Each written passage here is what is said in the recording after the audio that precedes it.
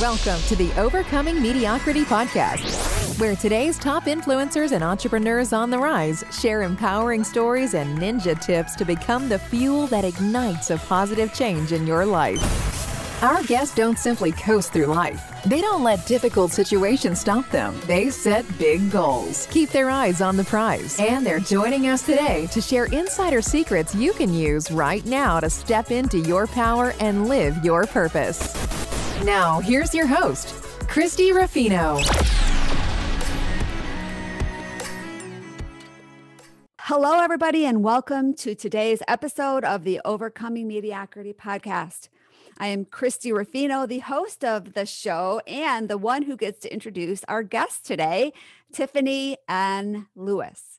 And I met Tiffany about a year and a half ago. Uh, she was introduced to me, and I uh, got to know her through various conversations as well as helping her get her story out in the world in a big way with our Overcoming Mediocrity Unstoppable Woman edition.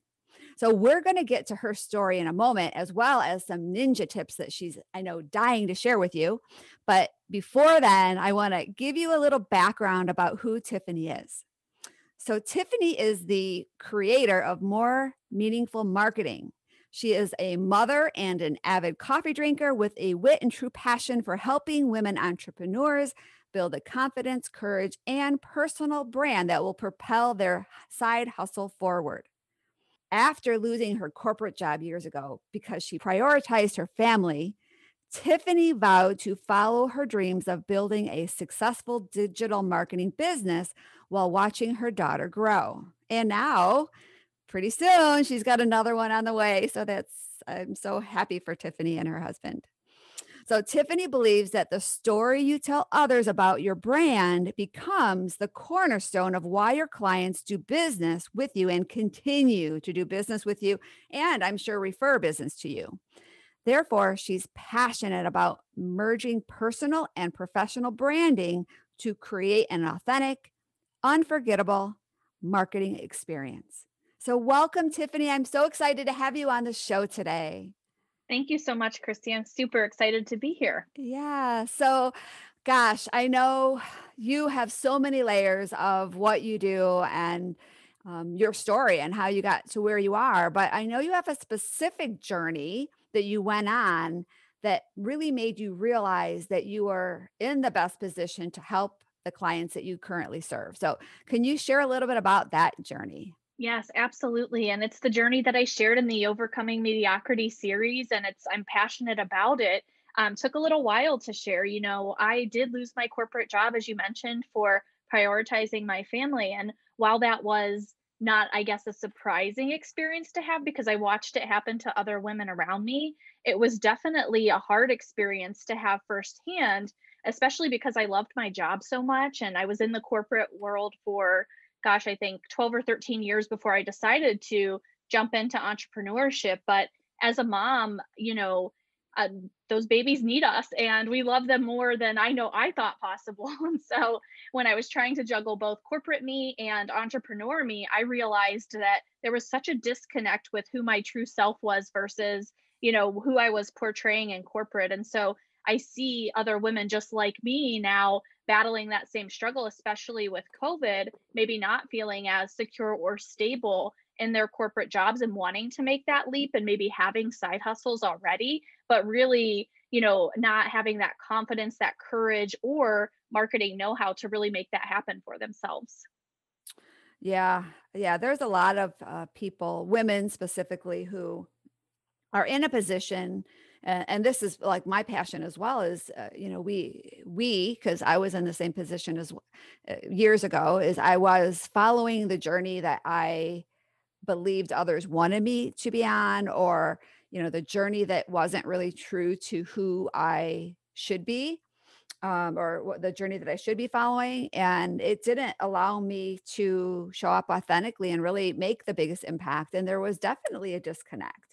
And I talk to so many women who are really kind of stuck in that corporate job and they want to do something different. They want to have the freedom that an entrepreneur, the entrepreneurial journey can bring, but they don't necessarily kind of know how to make it happen. And it's scary, right? I'm sure you were scared to death when you made that jump. Well, and you know, fully transparent here, I lost my job before I was ready. And so while I had my business already for about a year or so, it was still surprising. I think when we try to make that transition, we're under the impression that we have to replace our full-time income or we have to have benefits first, which is very important, you know. Um, but we have all of these perceptions of what we think entrepreneurship will look like. And I don't know about you and your journey, but it looked completely different. You know, um, saying I had to replace my full time income was sort of silly when I thought about less childcare.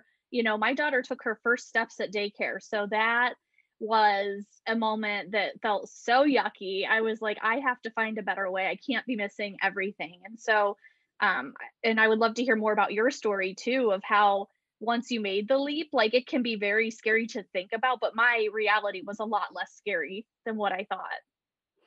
Yeah, well, so I kind of was in the same position as you were, where I was forced to uh, get out and do something. And um, if we can realize, or if other people that are listening right now can realize that it's so much easier if you make the decision and put the pieces in place on your own to transition better than all of a sudden now everything like the rug is pulled out from underneath you and you've got to figure it all out.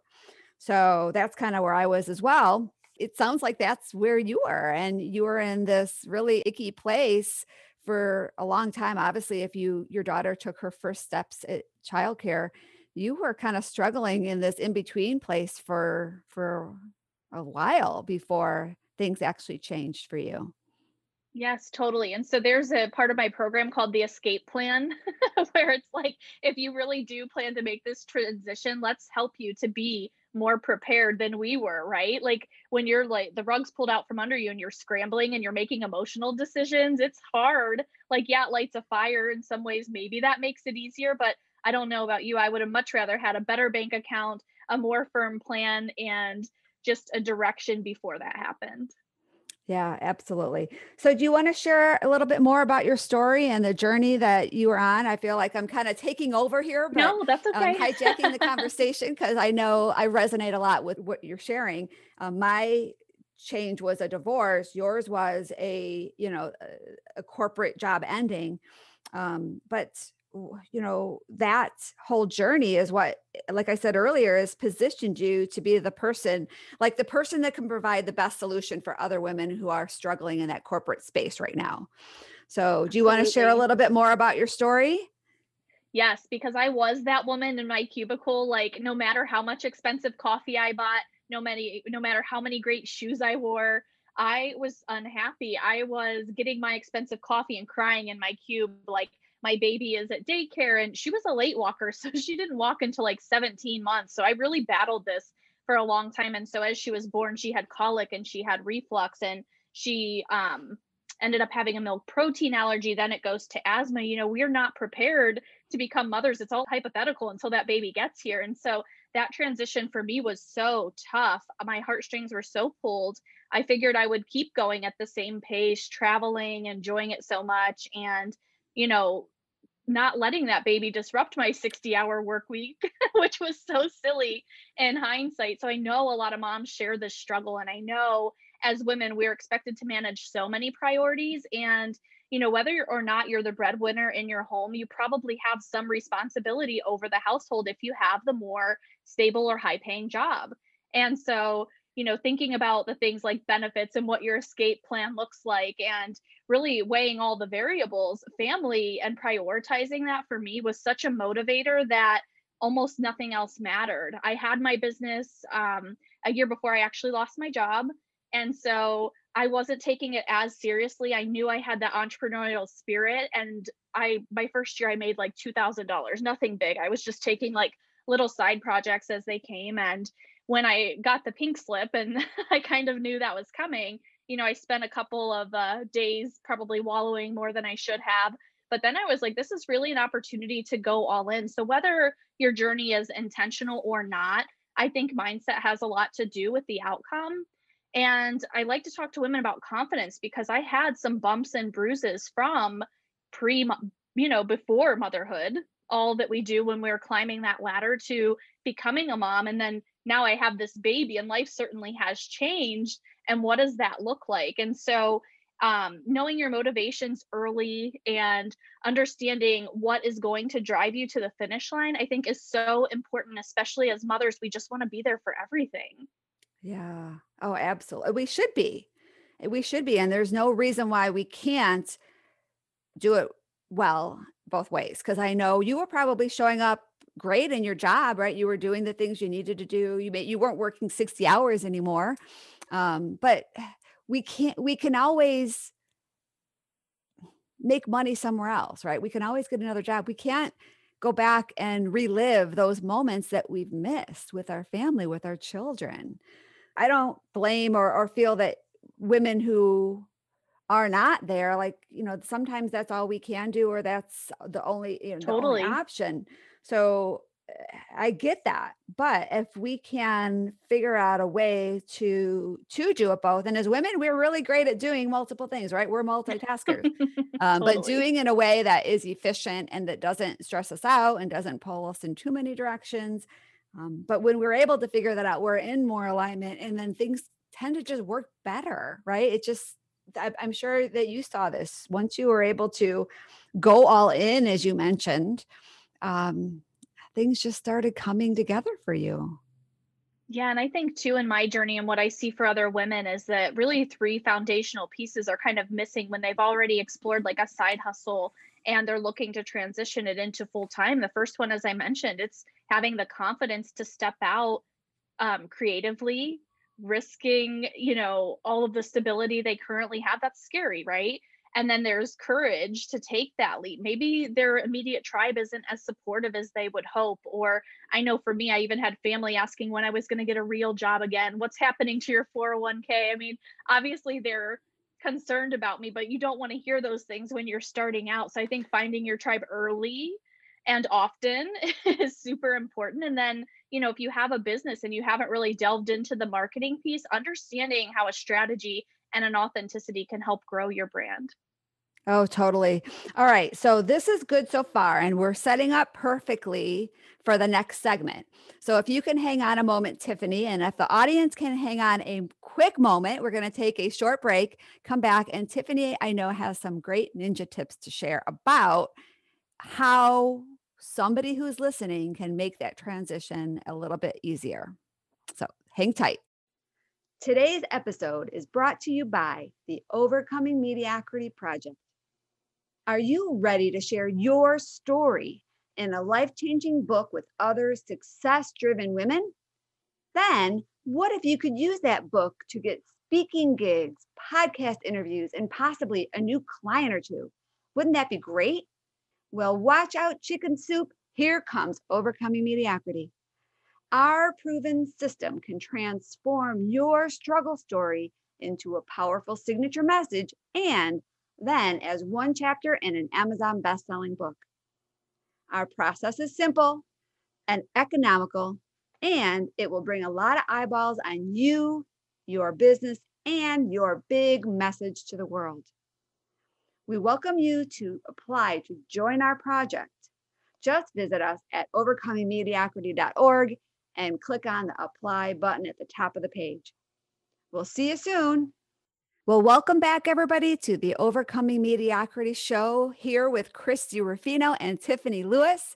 And I know Tiffany is just excited to dive into some great ninja tips for all of you corporate women out there who are really kind of thinking maybe you want to dive into the entrepreneurial journey, or maybe you are as a um, a woman right now who is an entrepreneur and you want to really understand how your brand fits into it all. So I know Tiffany's going to cover it all. So let's get started, Tiffany. Welcome back.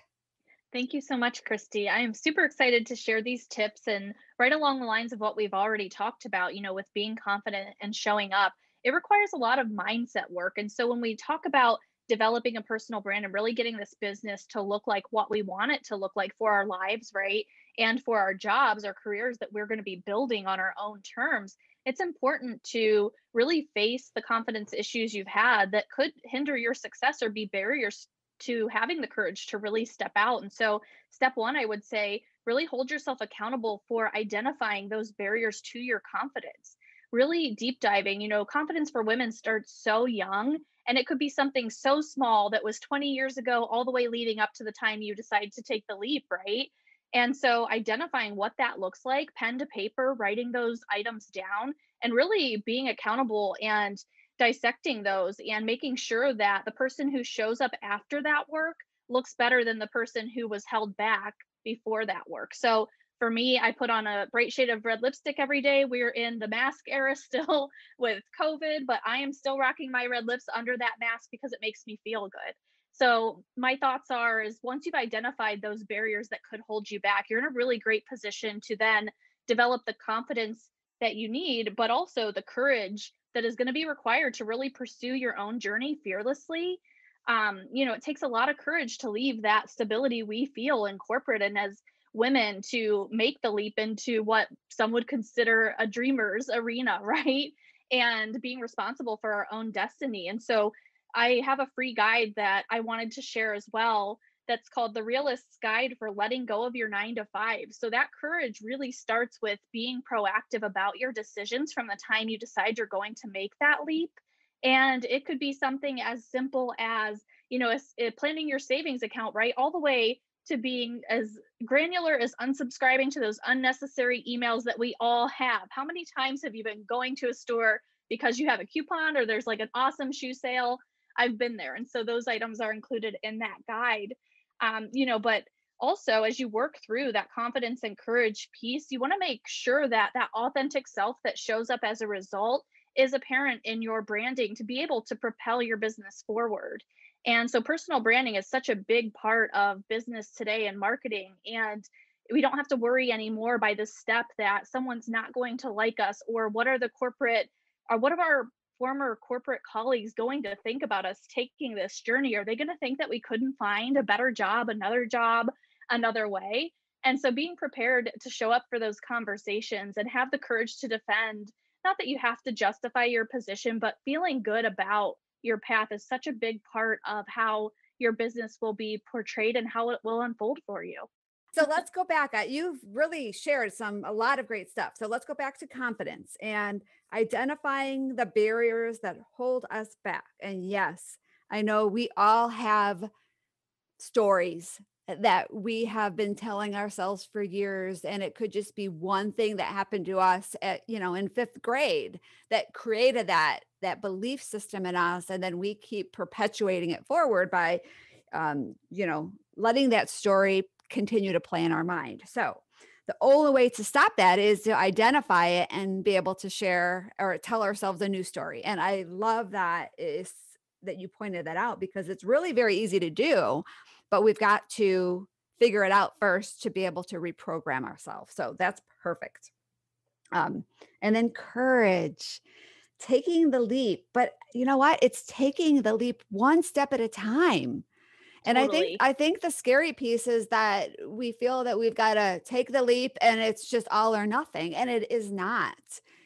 You may have to take a hundred steps to get there maybe it's only 20 steps. We don't know how many steps we have to take, but it's always a journey. And if we take every step in faith, just knowing we're going in the right direction, even if we kind of veer off here and there, we just, like Siri says, recalculate. You know, we get back on course.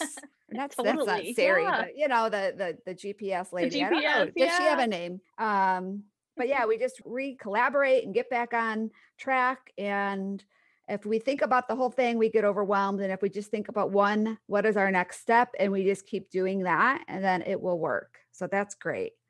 I like what you're saying too, just in that same thought, is that it's a journey, right? Like just because I'm sitting here sharing parts of my story and we're talking about our stories doesn't mean it's over for us today, that it's going to be over for us for a week from now, right? We're going to encounter different things, good and bad, that are going to, going to try to reshape us and how we stand in that confident place and understand our own journey strategically and doing that work proactively is just going to keep taking us to progress every day small or big and help us celebrate our achievements kind of as we accomplish them oh gosh absolutely All right. And then brand and to be able to show up authentically. And I feel that sometimes women, a lot of women, not all women, a lot of women just they want to please everybody and they want to they don't want to cause waves and they just want like they just want to like they're afraid to be polarizing. But what happens is unless we're able to create raving fans, you kind of get lost in the marketplace. So and this is uh, really something that I am still struggling with and and still like, you know, stepping deeper into my brand, but I really want people that don't just like me. I want them to either love me or not want leave me eh, alone. Yeah, leave me alone, not want anything to do with me because we all have so many choices in life. Why would somebody really want my support if they just thought, you know, I was okay. No, I want them to be like, oh, she is like the rock star. I love her. I resonate with her. You know, she's a badass Harley rider and she does great things yes, with her clients. so, uh, like, I, I, we really need to to do that to be able to rise above our competition, right? So, I love how that yeah. you help people figure that out and i love that you stand so firmly in who you are too. I think the more honest and authentic we can be early we do create those raving fans or we decide to repel you know inadvertently or on purpose however you look at it the wrong people for us making that pool of people who really love us the quality. Yeah. Yeah and i've really been blessed to figure this out with women like you because when I talk to them and help help them really identify their story and and their journey and and like one of the my more recent clients you know she has a really successful or has had a really successful career or um, business or she's been a part of this business of horse training and horse you know selling and riding and coaching and training and all that stuff. And then she was looking to step out of it and figure something out and i'm like well you can do like that that's part of who you are and mm-hmm. so mm-hmm. what once she's in she embraced that her business is just like she's pivoted to what she thought it was to what it really is and like people are just coming to her like she's not even like she can't even keep up with it with it all but it's she's identified who she was and now other people are identifying with her and they're gravitating towards her mm-hmm. so it's great it is the it's the power of attraction marketing, it right? Is. We don't really know how it happened. Well, we do know it's a lot of psychology, but it's work over time with intention. And so when is that minute you can merge that personal and professional brand and really love it and just live so easily that marketing becomes yeah. a lot more simplified, people stop hating it. People have such a misperception uh, about marketing. And then when you don't have to act or put really strong effort toward it, it just unfolds like you've said. Yeah. Yeah, that's when we can stop hunting down clients because they start coming to us. It's great. Mm-hmm. And then one thing that you mentioned earlier, but it wasn't necessarily a tip, but I want to point out because it's huge, is you talked about confidence, courage, your brand, community. Because yeah. when we step into this entrepreneurial space, it is so critical. I don't even want to say it's important, it's critical that we align ourselves with other entrepreneurs. And mostly because our family, our friends, the people that love us, they want the best for us, but not everybody is wired to be an entrepreneur or not everybody understands the journey. And and you know, I've had people say to me, "Well, when are you going to get a real job?" Well, you know, I have a job I love. I'm making great money. I'm serving people. It's like awesome. But the non-entrepreneurs can't support us like we need and we have to be able to surround ourselves with those type of people because that is really the best i feel when uh, it's a critical place that it's uh, gosh a critical piece of the pie. You have to have the community of people that are doing the same thing you're doing people that have done what you are trying to do and people who have succeeded so you can continue to rise above you know what your current expectations are because when you take that one step at a time we don't know what next year's journey is going to be and every year our our belief system around that it keeps expanding and the only way that's going to happen is if we surround ourselves with the right type of community Yeah, I couldn't agree more. And I don't know about you, but I spent a lot of time early convincing, convincing Yes. everyone, right? Like even people who Yes. were in my immediate circle, it's like, well, thanks, you bought a product or service. That's great. But they weren't my ideal clients. And had I put that work in earlier, uh, you know, a big part of the program is teaching people what I wish I knew sooner. And so that community, you're so right. It is just make or break for success. Yeah. So tell me about the community you have because I know during our break you talked about your awesome Facebook group. So we're going to make sure that the link for that, as well as your free gift, your website, all of your contact information will be in the show notes below. Um, but tell us about your your Facebook community. Yes, before I do, Christie, I just want to say being a part of your publishing projects, I mean, you have so many and they've been so successful and having the number one Amazon best-selling, you know, title and all of those things that come with it has really pivoted my business to be able to really share this story in a way that I hadn't been encouraged to do before. And so just in this short year and a half, my whole journey has changed. So I just want to thank you for Aw. everything you did to nurture my story being told in a way that could help others. Oh, thank you. Well, I'm going to have to take that little clip and separate it and use that on our website.